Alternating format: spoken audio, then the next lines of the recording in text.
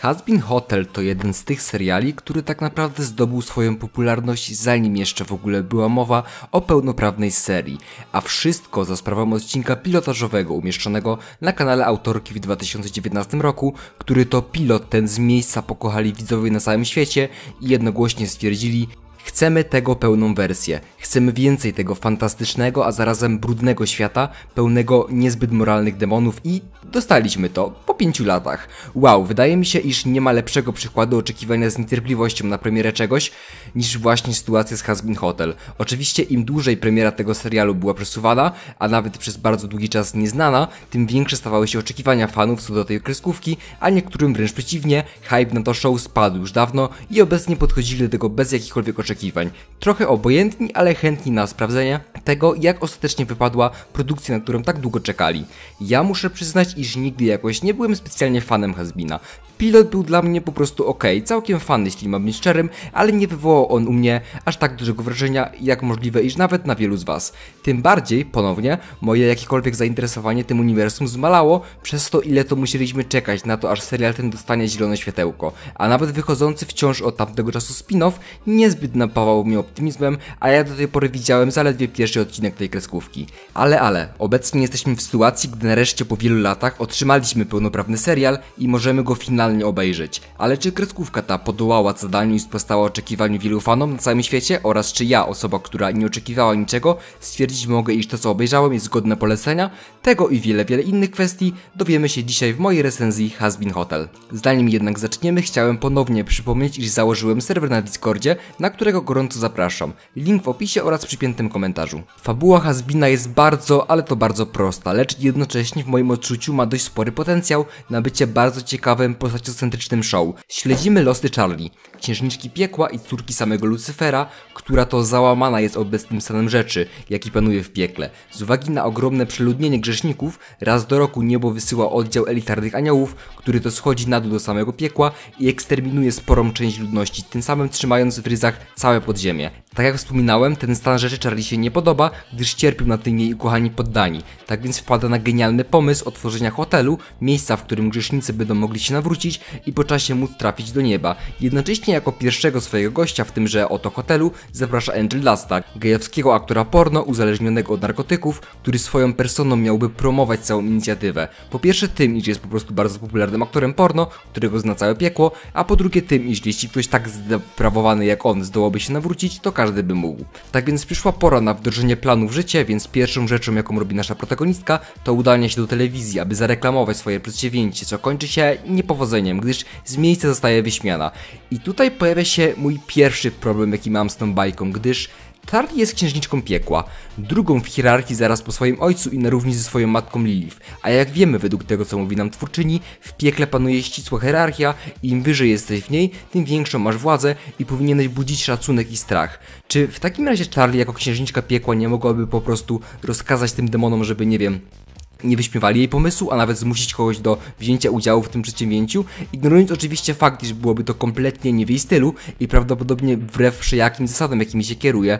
Ale czy nie mogłaby? Mam wrażenie, iż twórczyni tej bajki mówi jedno i ustanawia jakiś lore, ale egzekwuje coś kompletnie innego. Tym bardziej, jeśli weźmiemy pod uwagę to, iż koncept tej hierarchii w całym serialu niezbyt jakkolwiek jest pokruszany. Ale oczywiście to nie jest najgorsza rzecz, jaką ta bajka zrobiła, gdyż może pogadajmy sobie o faktycznie najgorszym elemencie tego show, jakim jest postać samej Charlie, która stara się parodiować wszystkie te Disneyowe księżniczki, gdyż warto także wspomnieć, iż serial ten to jawna parodia Disneyowych animowanych musicali, ale do tego przejdziemy nieco później.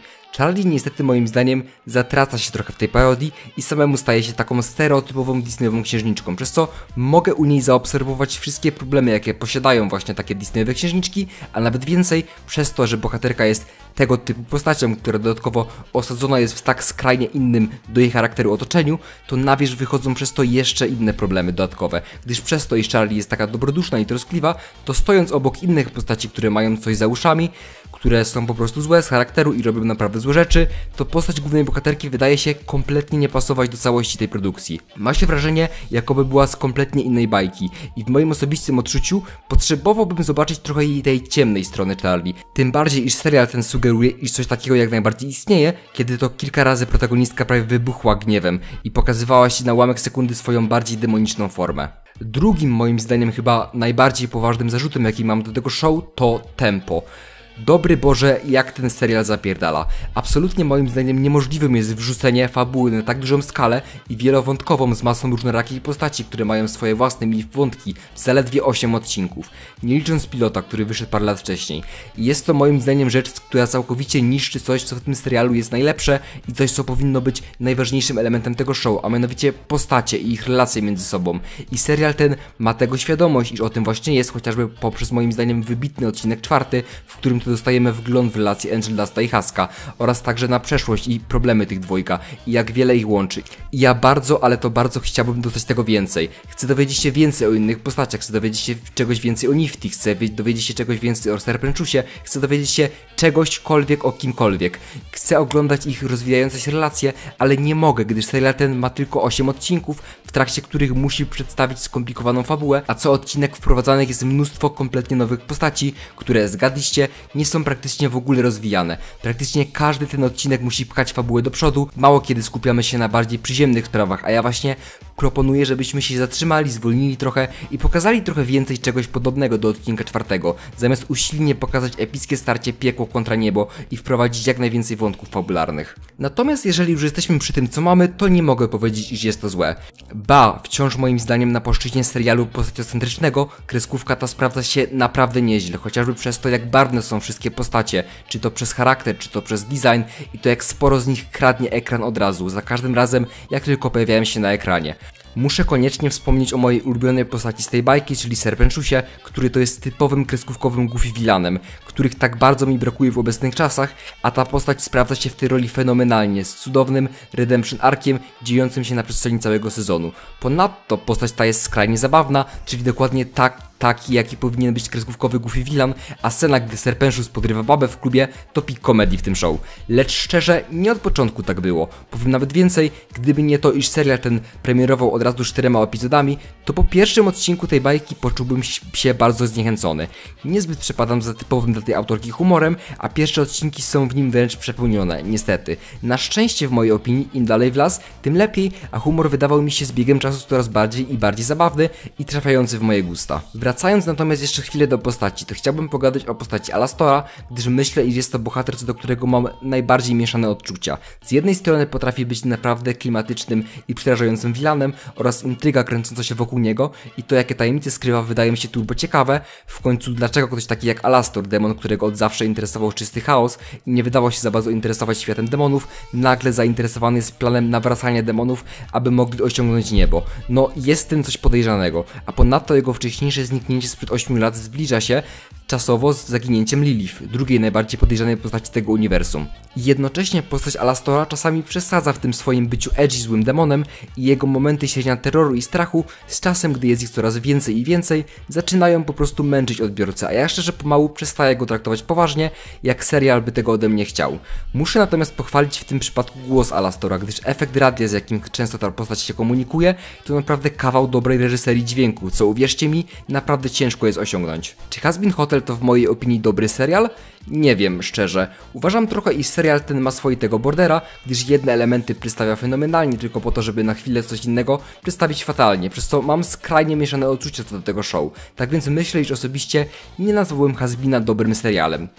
Natomiast z pełną świadomością mogę go nazwać wyśmienitym musicalem. Jakby wow, ta kreskówka na płaszczyźnie musicalu to jakieś arcydzieło. Mówię to ja, osoba dla której musical to najlepszy gatunek filmowy wszechczasów. Tak więc myślę, iż mogę z pełną świadomością stwierdzić, iż jest to jak najbardziej dobry reprezentant tego gatunku. Nigdy nie czułem, iż jakakolwiek piosenka w tym show byłaby niepotrzebna, iż jest fillerem. Każdy utwór albo rozwija jakąś postać, jak chociażby Poison czy Loser Baby, albo też świetnie sprawdza się w roli pchania fabuły dalej, jak You Didn't Know. A przede wszystkim, i coś co myślę powinno być najważniejsze, praktycznie każda piosenka to przede wszystkim absolutny banger, którego słucham na zapętleniu całymi dniami. Osobiście łatwiej byłoby mi wskazać piosenkę, która wydaje się najsłabsza, Welcome to Heaven, niż taka, która najbardziej przypadła mi do gustu. Bo jakim cudem mam wybrać pomiędzy takim Hell is Forever, które po fatalnym debiucie Adama bardzo naprawiło mi tę postać w moich oczach, a takim Loser Baby, którym mam ogromną ochotę zaśpiewać z kimś duecie i świetnie rozwinęło relacje Angel Dusta i Haska, albo Respectless, które świetnie łączy elementy współczesnej muzyki z klasyczną hiszpańską, no po prostu się nie da. Osobiście, gdy myślę sobie podczas seansu, że jakiś element wypadał nad wyraz słabo, to chwilę później kompletnie o tym zapominałem, gdyż nie mogłem wyjść z podziwu, jak genialnej piosenki teraz słucham. I tak mogę narzekać na to show, mogę mówić jak, jak fatalne tempo ma ta bajka, jak kompletnie marnuje potencjał niektórych wątków, e, tak koniec końców muszę powiedzieć, iż bawiłem się się fenomenalnie i z ochotą wyczekuję kolejnych sezonów tej bajki, gdyż już teraz tęsknię za tymi kochanymi i barwnymi postaciami. Podsumowując, jeśli jeszcze nie widzieliście Hasbina, to gorąco Was do tego zachęcam. Miejcie jednak na uwadze wszystkie wady, jakie ten serial ma, gdyż momentami faktycznie mogą trochę uderzać. Zachęcam jeszcze raz do wbicia na mój serwer na Discordzie, link w opisie. Tak więc to by było na tyle, życzę Wam miłego południa, wieczoru czy tam poranka i jak zawsze, łączmy się w bólu.